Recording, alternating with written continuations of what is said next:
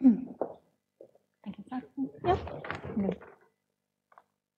No. Okay. So for my, the last part of my lectures, I will speak about non, I don't speak about stochastic gradient, but stochastic proximal gradient, an additional term just to make this, thing a bit more complex, just in case it was too simple until now. And so first I will motivate this, uh, so it is a recent, uh, recent research done in collaboration. So it's, uh, my talk is based on uh, many papers from the last uh, three, three years and it is based on uh, it was worked uh, works with uh, many collaborators and for example with Eric Moulines which we, we will be there at the end of the week and uh, Yves Atchadé from USA and other colleagues uh, in France. So uh, my, talk, my talk will uh, first I will motivate uh, interest in such algorithms by uh, problems in computational statistics. Then I will derive the, I will explain what is uh, the problem, why we have to do maths to approve the uh, convergence of the algorithm, and then I will discuss the implementation details um, the, when running this kind of algorithm. So the problem I address is always to minimize, minimize a function which is the sum of two terms here. So I will always use this notation. I want to find the argmin, which is not necessarily uh, unique. Yes, I put one point in this set of a function which is composite, which is the sum of two terms. This one is convex is non-smooth, which means I cannot speak about its gradient. It is uh, usually positive, non-negative, and it is uh, uh, This one is smooth, which means that I can speak about its gradient. The gradient will be Lipschitz, globally Lipschitz, and for the proof, even if it's quite res restrictive for the applications we have in statistics, I will have to assume that it is convex also. So this uh, with the notation throughout the, the talk, and all these functions are defined on RP or a subset of RP in cases here in this convex function you introduce a function which may have uh, infinite value, but uh, otherwise uh, let us say it is RP. In the talk, for the talk, you can imagine here as an example of function g, a function which is introduced to force a sparsity on the parameter, for example, up to a positive uh, constant, something which is the L1 norm of the, of the parameter, of the vector in RP.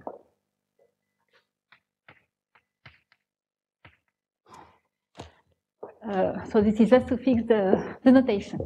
So the question that we will address is what are the numerical tools to solve this kind of problems? Numerical tools based on first method, first method at least for the regular part, and of course in the situations when the gradient is not explicit and has to be approximated. The motivations to consider this kind of optimization problems, as a first example, I can give you the, the example of what happens in large-scale learning when you have a number of examples, a large number of examples, that uh, capital N is very large, is so large that when you want to uh, evaluate for a given value of theta, which is a parameter, and fi of theta, which um, is a way to evaluate a loss function on the example number i, for example, you want to minimize this global uh, cost, this global loss function, loss function, but you don't want to compute all the sum at each iteration because it's a too large sum, so you would, you would like to have a, another strategy. And so this is the reason why we consider that the, the sum is intractable because it uh, implies too many terms. So if we want to compute the gradient, it is the same problem. The gradient is the sum of uh, the gradient of each one. So uh, here the problem is, in practice, the problem quite often is not really the computation of the, of the gradient of each function itself, but it is the fact that here you have a large sum when you compute the gradient. And the strategy to try to uh, limit this computational cost is to read this sum as n multiplied by an expectation, an expectation with respect to a random variable, which is the index of the, the function. So an idea to approximate the gradient in that case would be to draw with some random mechanism, quite simple here, you draw uh, indices, indices and then you limit the computation of the gradient to a subsampling here of the, of the example. The second motivation is the one introduced uh, in the first lecture. That is, uh, it was a model, what I call the latent variable model, and I gave a typical example coming from pharmacokinetic, which means that in that case, the function f is the likelihood. So if we want to minimize, uh, it is the negative likelihood or the negative log likelihood.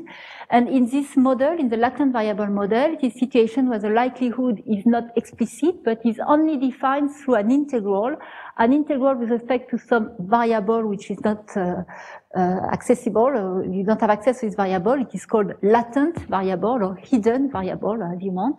And so you can only write the likelihood by this integral. And what we already uh, proved in the first lecture is that in that case, the gradient with respect to the parameter theta, uh, the gradient is given as an expectation of the derivative of the complete log likelihood. It is the name, the name of this quantity, the likelihood of the observation and the, the missing data and uh, the complete log likelihood integrated when you average the missing value over the a posteriori distribution, that is the distribution of x given y. So here again, it is a situation when the gradient is not explicit, but it is an, an, uh, an expectation with respect to a distribution which is not explicit, which is known up to a normalizing constant. And in that case, if you want to approximate the gradient by a Monte Carlo technique, you will have to use not ID sampling from pi theta. Generally, it's not possible, but for example, MCMC sampling and MCMC targeting pi theta. Usually in statistics, it's not true that uh, the f, which is the negative log likelihood, it's not true that it is a convex function. So the assumptions under which I'm, we are currently able to derive uh, convergence analysis is too strong. It doesn't cover these cases. But there are examples where the convexity assumption holds, even in statistics. And so I, I conclude with the third example. In this third situation, what the likelihood is associated to this model, which means that I have, I observe, for example, uh, imagine that you have a network with uh, p nodes, and each node, the value of uh, each node is either zero or one. And one observation is a picture of the network, which means that you have one observation is a vector of length p with value entries either zero and one you can associate a model, a statistical model to this, uh, to this uh, observation, saying that the probability of one observation is given by this formula. And uh, here everything is explicit. When you, when you want to compute pi, it's explicit, except the normalizing constant, because the normalizing constant induces a sum over two power p terms, and usually you, you are not able to, to compute it. p is too large. So here again, here it is a situation when the likelihood of one observation and therefore of n observations, if you assume that your observations are, are, are independent, the likelihood of n uh, observations is known up to uh, this term here, this constant. And in this model, you want to learn uh, a kind of weight between the nodes. You want to learn the value of the parameter theta, maybe you can say you, you want to introduce a model saying that the number of nodes with, which are co co connected is small.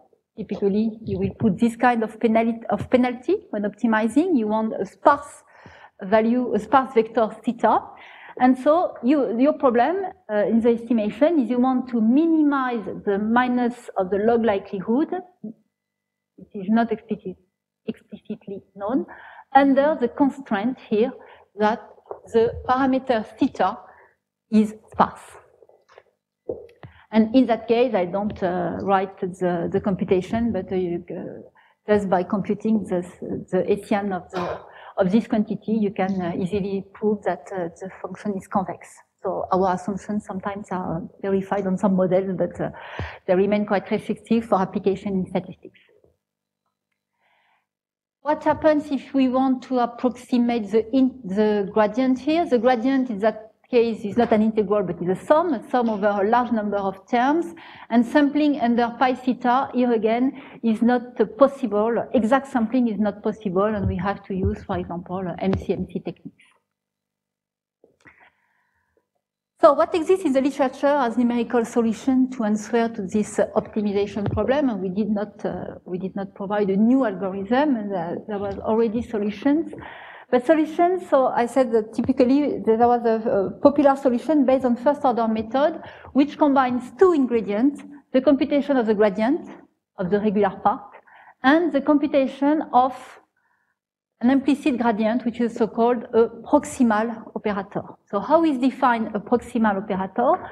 When you have a function g, which is convex, which you can define a quantity which is the argmin of g plus a quadratic form, which is uh, here you have a weight, uh, you, the user choose the weight gamma, plus the quadratic form. Um, and the argmin is well defined under the assumption on G, that is uh, more precisely the fact that it is convex and lower semi-continuous. So you have a, uh, existence and unicity of the of the, the value here, the argmin. Just imagine what is this uh, action, what is a, what is a, a prox. First, when g equals zero, um, when g equals zero, it's easy to see that uh, the prox is nothing more than the identity uh, operator, so it does nothing. When g is an indicator function, but indicator in the sense zero plus infinity, that is, you put, it is, when you want to optimize on, let us say, on a compact set, you can say that it is, you optimize on RP, f plus a function which is zero on the compact and plus infinity otherwise. In that case, what is the prox associated to G? It is nothing more than the projection on this uh, set. Finally, in a more general situation, typically, for example, in the L, L1 norm, G, the prox associated to this function G is explicit. There is an explicit formula. It's uh, in one iteration. It consists in a um, translation and uh, thresholding of uh, each component of the parameter. So there is an explicit formula, but it may happen for more general function, convex function G. It may happen that computing the prox is itself an iterative algorithm, and you reach the minimum uh, only uh, asymptotically. so it may happen that when you compute the prox, you are not able to exactly compute it, and so there is an error uh, you have to stop it at uh, after some uh, after when you are tired, you have to stop it after a fixed number of iterations, and so you may have an error when computing the prox. In this talk, I will consider that we are able to compute the prox explicitly, which means that when I will study the algorithm uh, I will introduce in the next slide, I will consider that the computation of the prox is exact. The computation of the prox is exact, and the algorithm, which is called the proximal gradient algorithm, uh, introduced uh, sometimes uh, some years ago. The proximal gradient algorithm, as a user, you have first to choose a step size sequence, again, a deterministic uh, positive step size sequence. And the formula, the update rule, is this one. You start from the current point, you perform a gradient descent in the direction of the regular part of the objective function, or minus the gradient. And after that, since you don't want to minimize f, but you want to minimize f plus j, you, you introduce a mechanism which modifies the, the problem by the action of this prox. So this is the magic formula. Now I give you the intuition of this uh, formula. I give you the intuition by um, by the approach which is uh, called the majorized minorization uh, approach to justify this, uh, these techniques. So first, what you, let us say that we want to minimize the blue, the blue curve. The blue curve, the minimum is there, and currently theta t is here. So which means that the current value of the objective function is here. What you are doing in this algorithm, it is equivalent when you apply this formula here, it's equivalent to say first, I define a majorizing function, the red curve, which is defined as follows.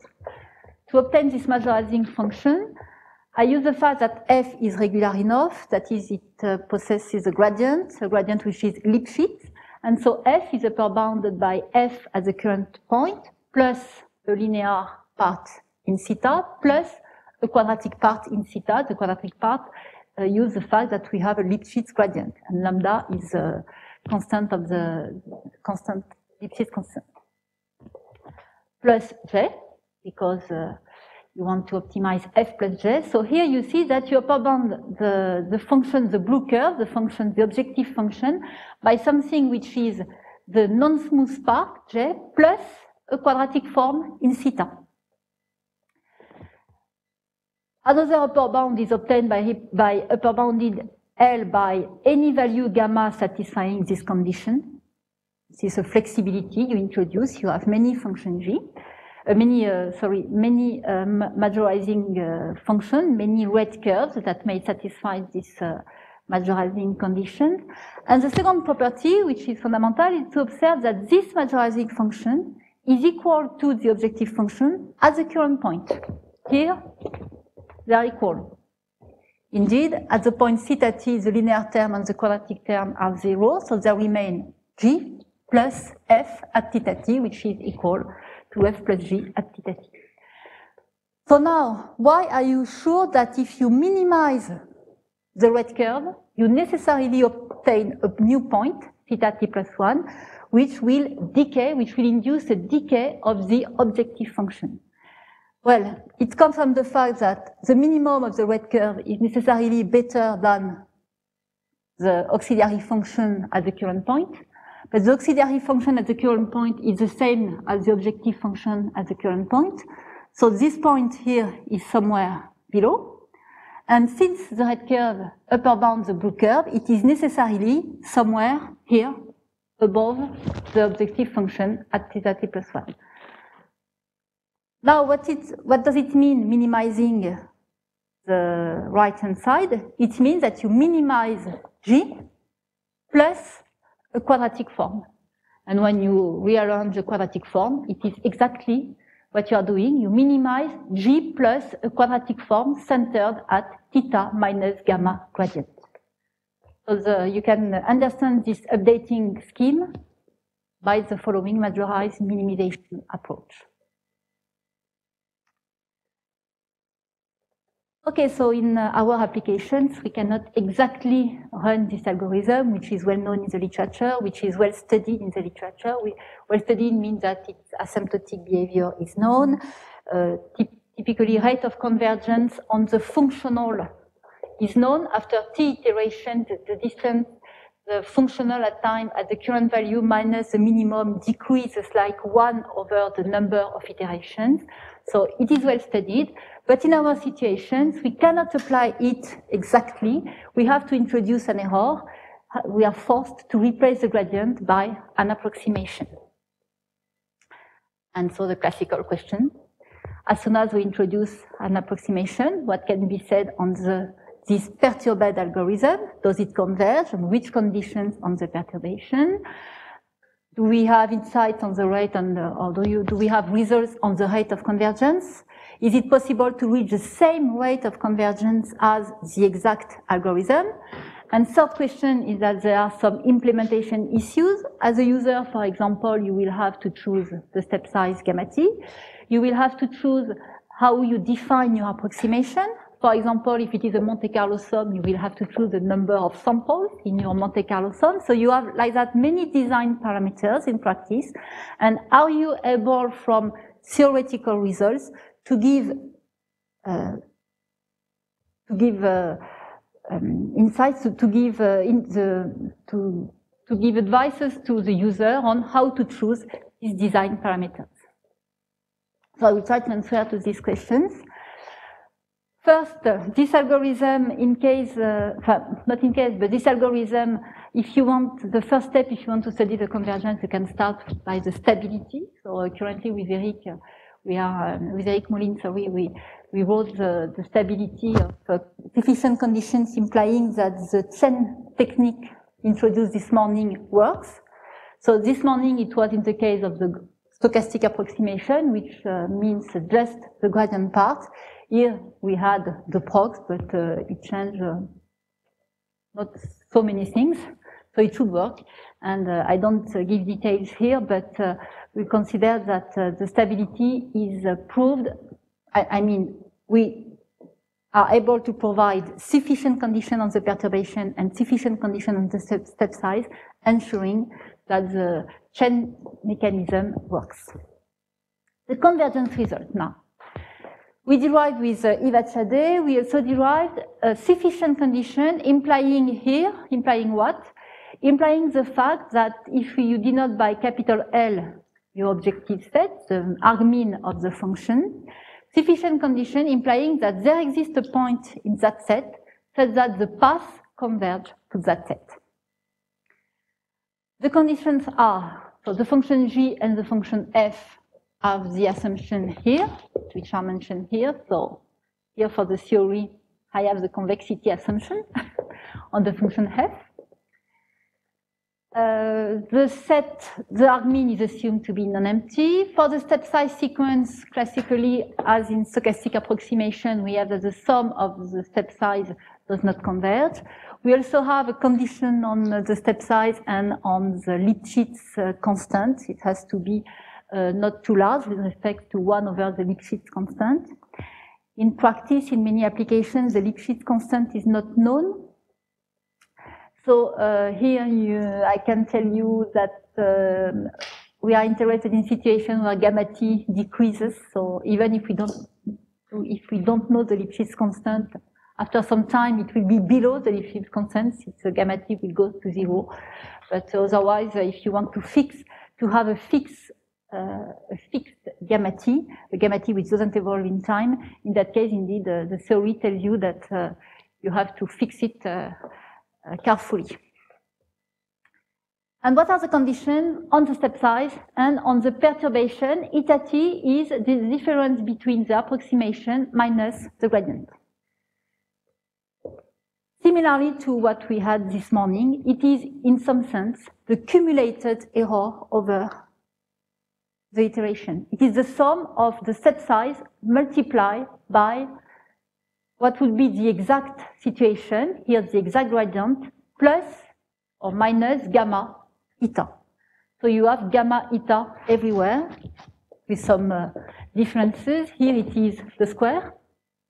Here it is a signet quantity, eta the signet error, so gamma multiplied by eta. And here it is more or less equivalent, equivalent in terms of difficulty to check. When you want to check this condition, it is more or less equivalent to uh, have this one or this one, but uh, the truth is that we have this, uh, these two conditions. This result is a deterministic result, which means that it addresses any way to approximate the gradient. In case you have in mind, in case you use a stochastic approximation here of the gradient, typically based on the Monte Carlo sum, how do you use, how to use this result? Here you have to check that this sum is finite almost surely, that this sum exists almost surely, that this sum exists almost surely, and the conclusion will be that almost surely there exists eta star such that, which means that the limiting value, of course, is random, it depends on the path almost sure is before, before the there exists. It is the way you, you can apply this, uh, this result. Just one slide on the proof. The proof, the main ingredient for the proof is to show that we have a Lyapunov inequality. A Lyapunov inequality which is based here on the distance to one point in the limiting set. So theta star is uh, minimize, uh, minimizer of the objective function. And so you, we, you can prove that under the, the, convexity assumption of f and g, you can prove that at time t plus 1, the distance is uh, decreases, not exactly decreases, but is, it is a distance at time t minus something which is always non-negative. The step size is positive and this quantity is always uh, non-negative. So minus something plus an error. In case where eta equals zero, that is in case where the gradient is equal to uh, you are able to compute exactly the gradient, you see that you have a strict decay of the, of the norm, so it is a classical result. But when you have an approximation of the gradient, you have this additional signed term. So you cannot ensure a strict decay. But after that, once you have this Lyapunov inequality, you apply the Robbins-Siegmund lemma that tells you that whenever you are able to find three sequences satisfying that Vt plus 1 is upper bounded by Vt minus something which is non-negative plus something, so it is typically what we have here, if the sum of this part is finite, then two consequences. The first one is that the limit of Vt exists, and the sum here of the, this term is finite.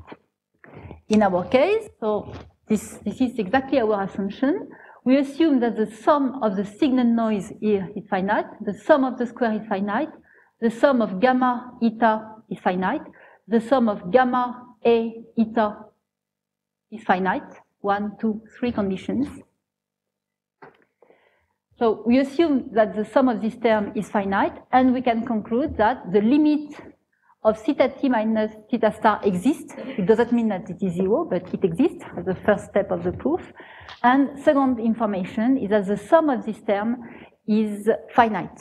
And since, since the sum of gamma does not converge, it necessarily implies that you have a subsequence which uh, converges to zero if the, the is positive is uh, zero, which means after that, classically, uh, you conclude, uh, you can conclude uh, in a few steps, and uh, you have convergence to uh, to a point.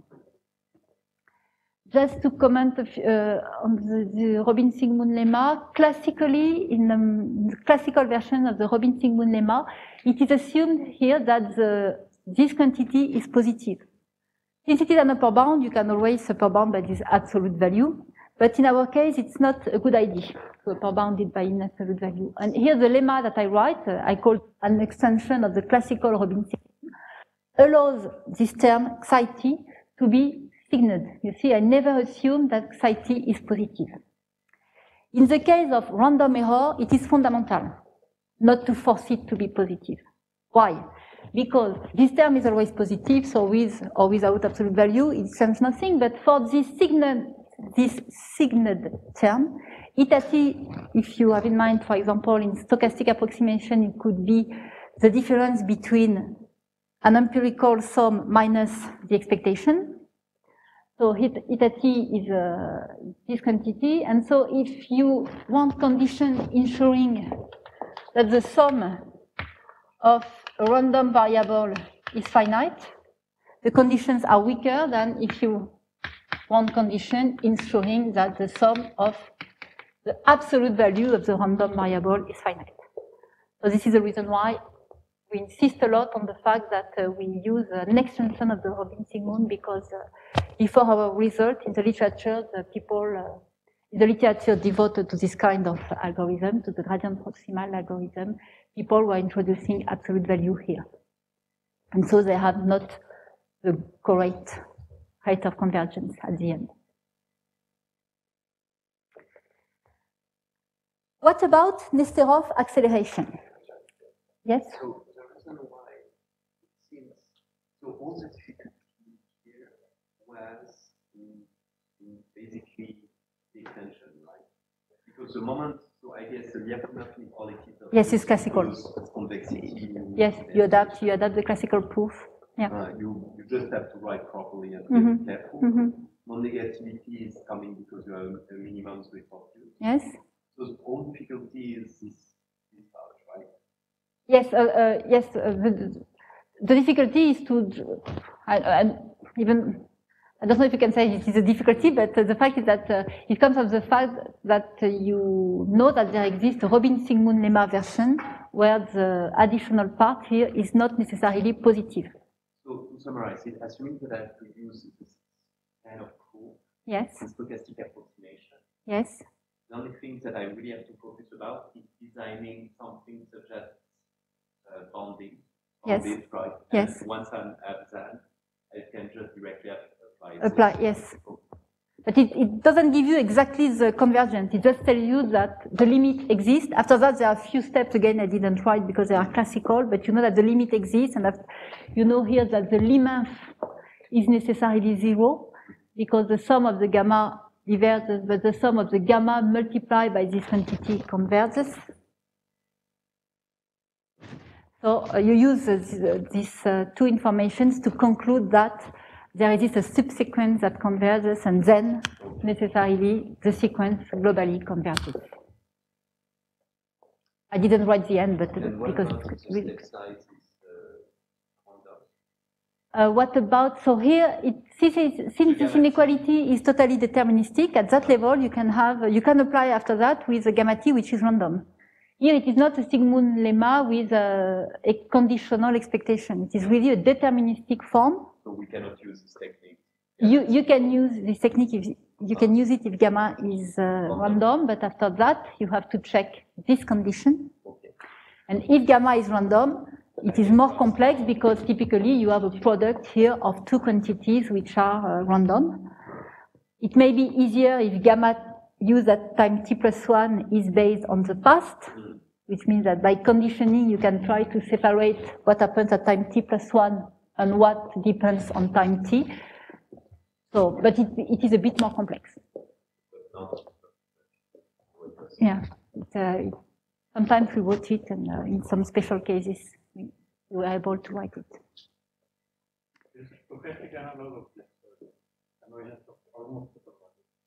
Yeah. In your book.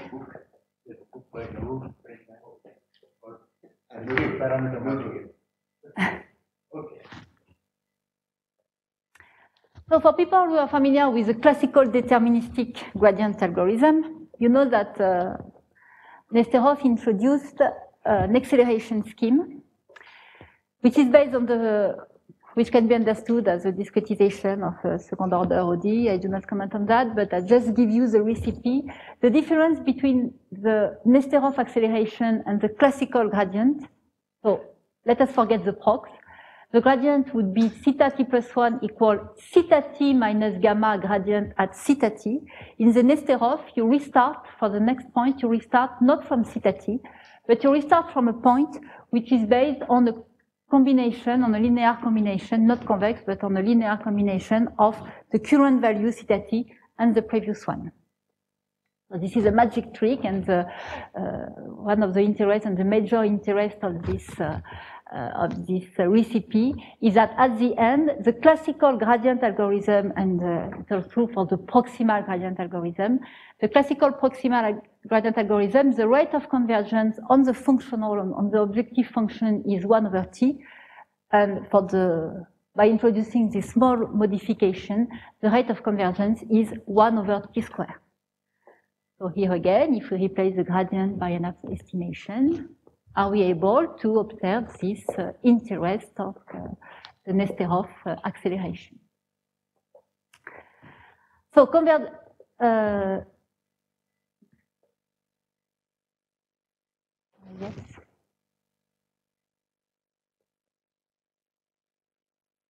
Uh, okay. Yes, so uh, about Nesterov, we have also convergence results uh, we are uh, so convergence results where we were able, I don't give you the details, but the, the conclusion, we were able to prove, uh, to provide sufficient conditions on gamma t. On lambda t, I just forget something. I, I said that the point theta t is defined as a combination of the two previous But as a user, you just introduce another design parameter. You have to choose a lambda t, a coefficient lambda t, which defines this, uh, this combination. And lambda t satisfies some condition with respect to the step size gamma t. So usually in the original, I don't know if it is in the, yes, I think in the, in the original paper by Nesterov, but it is uh, advised to choose gamma t constant and to choose lambda t uh, satisfying here the, in, the equality lambda t multiplied by lambda t minus 1 equal lambda t minus 1 square and you, you are able to find uh, how lambda, what is the value of lambda t and typically lambda t evolves, uh, increases linearly in t. there is an, an explicit expression I, I didn't write, but uh, just here you have a, a, lambda t which is uh, linearly increasing uh, with the number of iterations. So we have conditions on the step size, we have condition on this coefficient lambda t, we have conditions on the perturbation here, so that uh, we can prove that we have convergence of the functional uh, when you apply this Nesterov acceleration. We also have an explicit expression of the upper bound, and you see that the, in that case, the rate of convergence is gamma t lambda t square. Um, this is what we obtain. The gradient is a special case of Nesterov. If you choose lambda t equal 1, you see that this term is 0, tau equals theta, and here you have the classical gradient algorithm, proximal gradient algorithm. So the gradient is t power 0, 1 is t power 0. Nesterov here is lambda t with a linear increase, and so we decide to test what could happen if we consider some uh, other relaxation techniques where we choose the lambda t increasing like t to the power d, d between 0, 1, and uh, here again we obtain, um, we obtain some uh, results with this uh, more general lambda t. At the end, of course, the conclusion, and we would we introduce this additional design parameters just to see if there is a gain in considering such a value of lambda t, again in terms of uh, rate of convergence. I will give you the conclusion at the end. so now let us concentrate on the situation when we have a Monte Carlo approximation of the gradient. Classical idea to approximate the gradient, since the gradient uh, is, well, in situation where the gradient is an expectation, you can approximate uh, the gradient by a sum, which means that at, at each iteration, you draw point approximating or exactly if it is possible, otherwise a Markov chain targeting pi index by the current value of the parameter, you compute your Monte Carlo sum and you approximate the gradient. There exists other strategies in the literature, so there are many strategies to, uh, to approximate the gradient. This one, uh, even by uh, stochastic uh, techniques. This one, sometimes people, some um, people don't like this, uh, this kind of approximation because it's not efficient in the following sense. At each iteration, we draw new points. And you forget totally the points, the samples drawn at the previous iteration. So a natural idea to say, can we not reuse, isn't it possible to reuse the past samples? So yes, there are techniques uh, based, for example, on control variate techniques or things to try to define uh, an estimation of the of the expectation here with the reduced variance. So you can imagine other strategies. In the remainder, in the hereafter in the talk, all what I will say will be uh, will be uh, with respect to this kind of approximation, but just to tell you that you can try to improve to to have a better estimation of the gradient. I give you, for example, a recipe. It's a special situation where, where you can separate uh, when the function h can be separated in a, in a part which depend on x and a part which depend on psi. In statistics, we are, we are quite often uh, in this situation, typically latent variable model associated to a curved exponential family for people who are familiar with these uh, uh, situations. So when you have this uh, strategy, usually, so the computation of the gradient in that case is just to compute the mean value of the sufficient statistics here with respect to the phi theta. Usually phi of theta can be explicitly computed, phi of theta also, and the difficulty is in the computation here. And what was proposed is to estimate at time t this quantity by using a stochastic approximation scheme on this statistic. And the main advantage of this approach is that by using the past, you reuse all the samples. You have new samples at the current iteration, but you also reuse the past sample. So now I just uh, comment what happens in the first situation when the gradient is approximated by a Monte Carlo sum.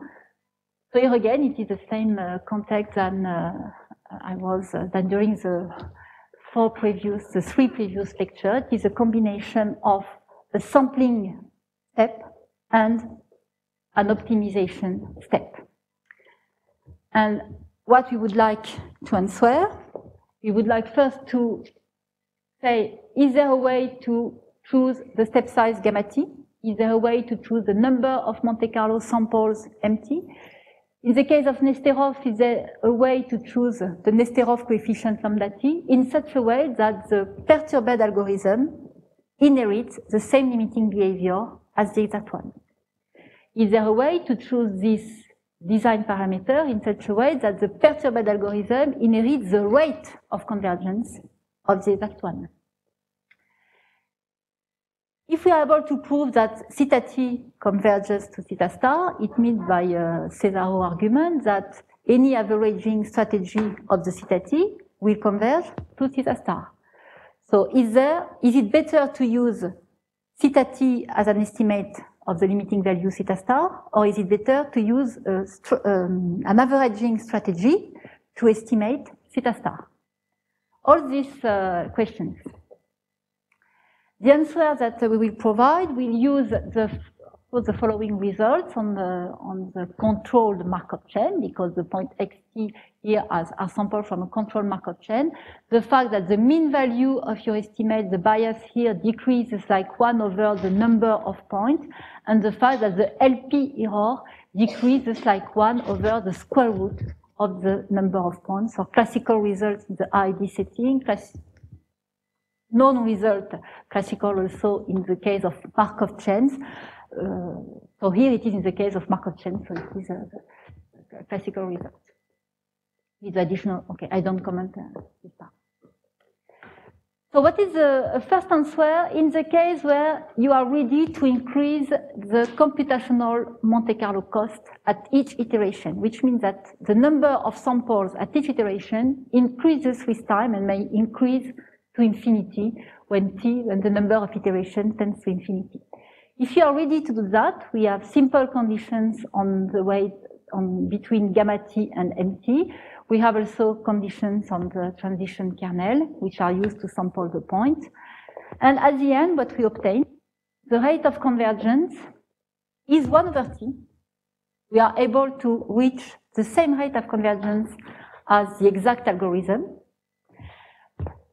to reach this uh, optimal rate, we, it is sufficient to choose a fixed step size, a number of Monte Carlo points which increase linearly with the number of um, iterations, and the estimate of theta star has to be averaged. It is for the average estimate that we reach. We have this uh, rate of convergence on the functional, it is on the objective function. So yes, we are able to reach this optimal rate of 1 over t, optimal because uh, equal to the one of the, of the exact algorithm. But if you think in terms of computational cost, since you, in, you increase the number of Monte Carlo points at each iteration linearly in the number of iterations, it means that after t iterations, you have 1 plus 2 plus 3 plus 4 plus, that is, you have t square Monte Carlo points the computational cost is t squared for a rate of 1 over t. So now if you think in terms of a fixed budget of Monte Carlo, you say, if I have a fixed budget of t, it means that I can only perform 1 over square root of t iterations, and in that case, I cannot have a better control than 1 over square root of t. Yes. For stochastic based on uh, Monte Carlo with uh, yes, with a variance in one over point. So now you don't want to increase the Monte Carlo cost. You decide to fix mt equal n, that is you are really in the stochastic approximation rule, mt equal m equal 1, if you want, a single point to approximate an expectation.